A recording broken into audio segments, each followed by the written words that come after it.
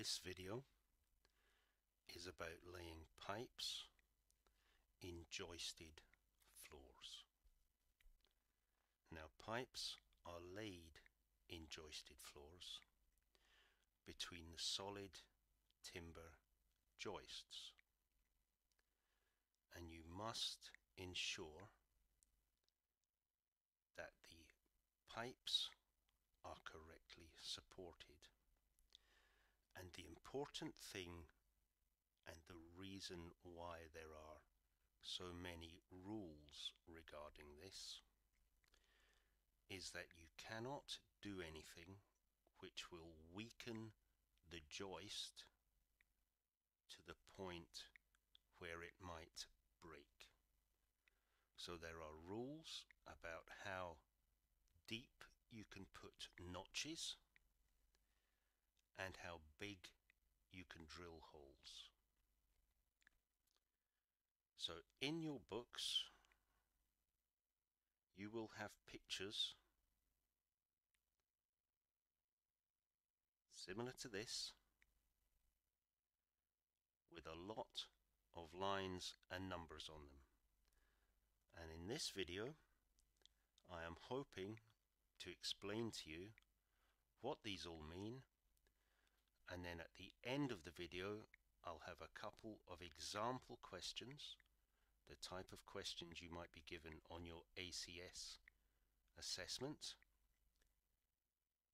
to see if you've worked out how to correctly answer the questions. So pipes are laid across solid timber joists and located in purpose-made notches. These are notches that you will make or circular holes and these are holes that you will drill. Here's a straightforward exam question for you. Do not notch joists of less than 100 millimeters. If they give you an exam question and the depth of the joist is less than 100 millimeters, the answer will be that's not allowed.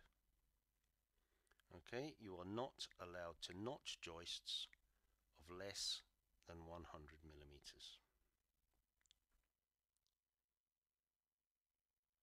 Here's an example, obviously a close-up. All the pictures look very similar to this. Some of them, instead of using decimal numbers, they use fractions. So it will say, for example, on this picture where it says 0.1 of the length, L, it'll say 1 tenth of the span. The length and the span are both the same. And the important thing to look at here is it's not the entire length of the plank of wood. The length or the span, the L on this drawing, is between the walls, not the entire length of the joist.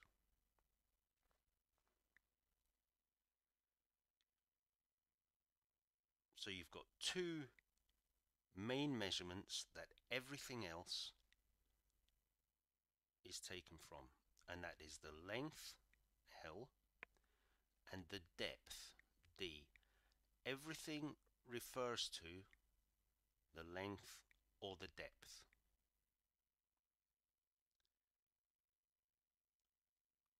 Here's an example, not a very good example, of some notching so that you know exactly what I'm talking about. These are notches in joists. Now we'll discuss the rules regarding what you can and can't do with them. For the purpose of this exercise, we're going to say that the length or the span is 2,300 millimeters. Now please get used to measuring everything in millimeters. It makes your life so much easier. So the length is 2300 millimeters and the depth of the joist is 600 millimeters. For this exercise that's what we're going to use. Remember that there must be 100 millimeters between the edge of any hole that you drill and the edge of any notch.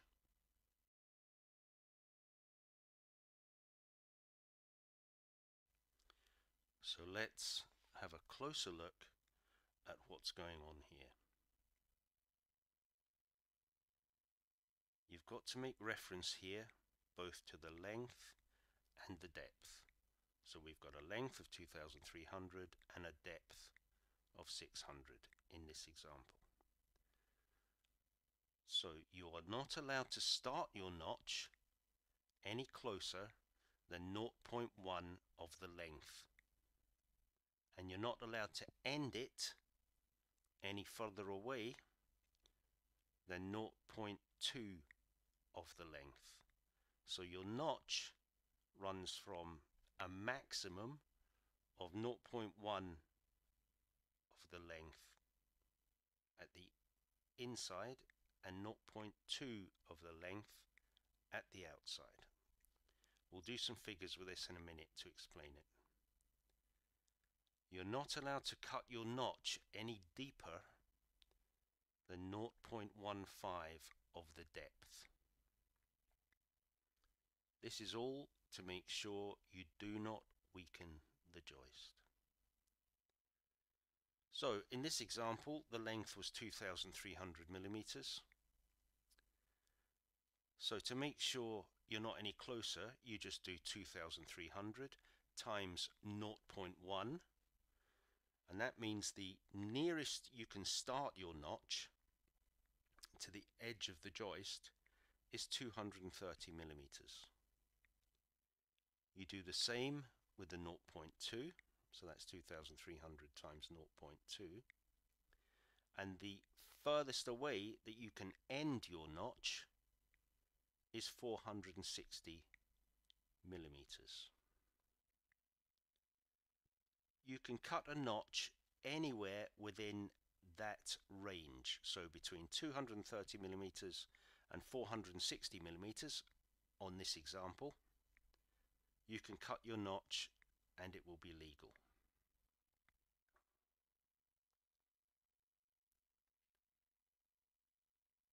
Remember, there's a minimum of 100 millimeters between any hole and any notch. So now we'll move on to holes.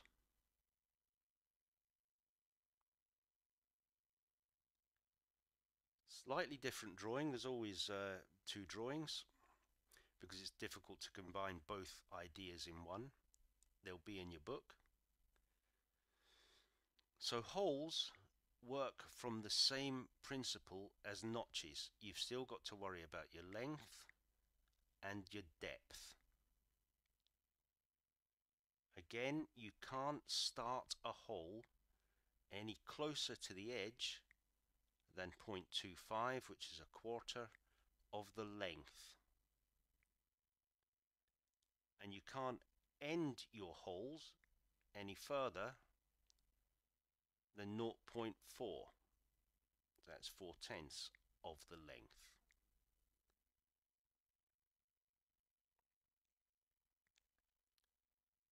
so let's have a little bit of a closer look at that Again, it's 2300 is the length we chose for this exercise.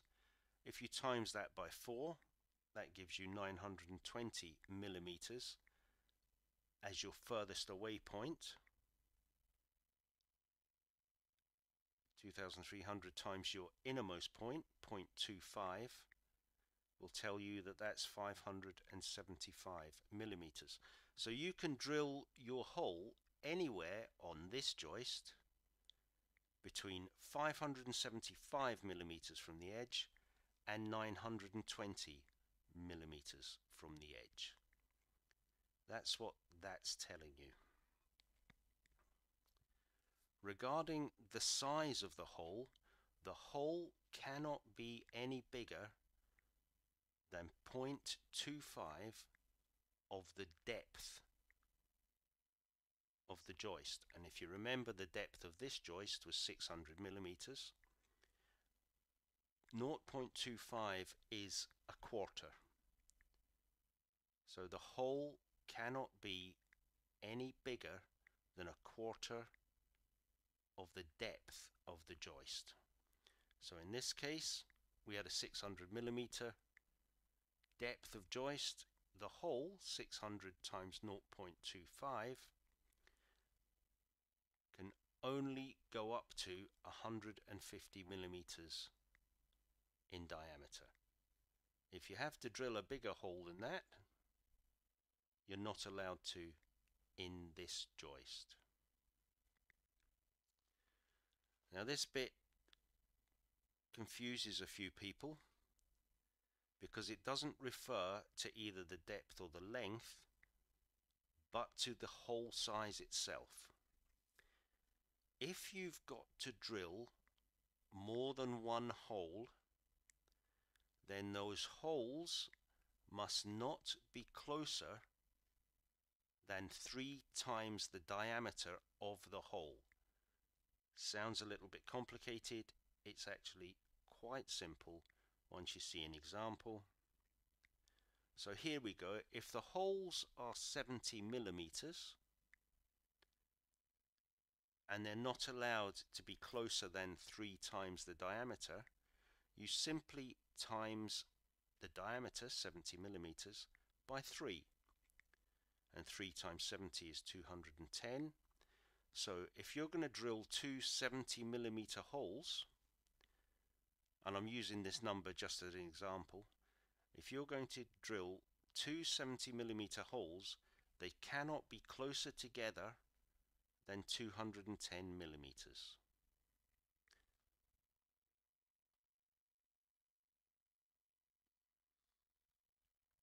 If you come across this situation, which you do in more modern houses, uh, and you're installing pipes between metal web joists, then just pass the pipes between the webs and use pipe supports and either fix them to the top or the bottom of the timber. Far easier to do than notching and drilling.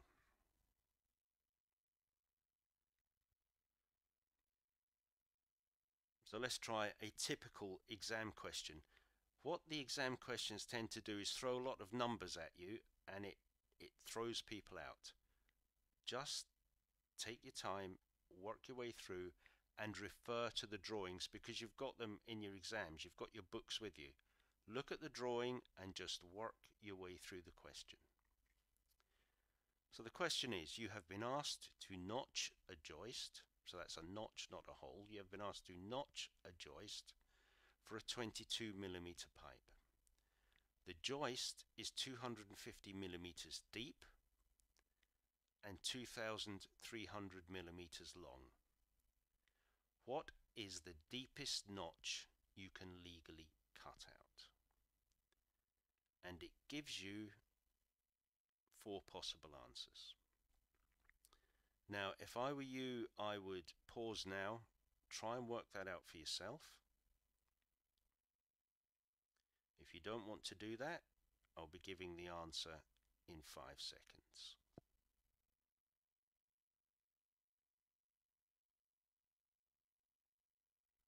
And the answer for this is 37.5 millimeters is the deepest notch you can cut out. So how did I work that one out? We use the picture. And what we're talking about is the depth because it's saying what's the deepest knot not what's the widest what's the deepest notch? So all we're referring to is the depth and we know the depth is 250 millimeters because the exam question tells us that. You look at your picture and this the depth of the notch is where you need to be looking. And it's quite simple. You do the 250 millimeters, the depth, times the allowance, which is 0.15, and that equals 37.5 millimeters.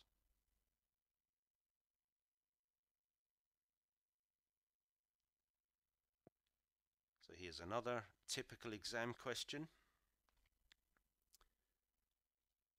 You have been asked to drill a hole 16 millimeters in diameter for a 15 millimeter pipe in a joist that measures 125 millimeters deep and 160 millimeters long. What is the minimum distance from the edge of the joist that you can drill the edge of the hole? Now this is something they do in questions. They throw a lot of figures at you to deliberately confuse you. Most of those figures are not relevant at all. It doesn't matter about the 15 millimeter pipe, right? And it doesn't matter about the depth. So try and sort out the figures that you need from the figures they've just thrown at you. I'm going to leave you with this one for five seconds and then I'll give you the answer.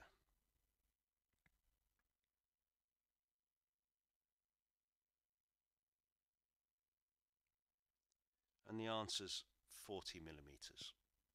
So how did I work that one out? Well, we're looking at the hole drawing here, the drawing of where the, the, the drilling holes are the center point. And what we've got to take reference to here is the length.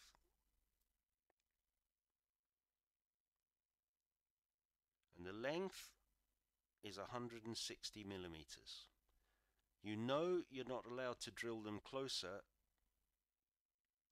than 0.25 of the length, a quarter of the length.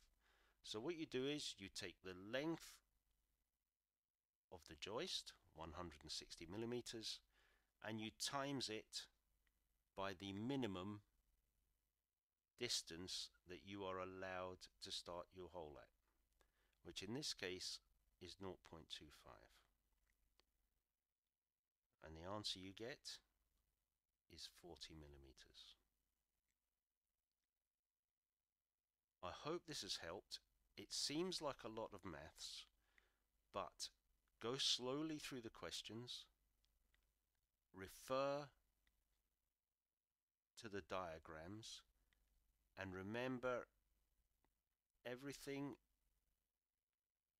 stems from the length and the depth and you should be quite alright. Good luck with your exam and I'll speak to you in the next video.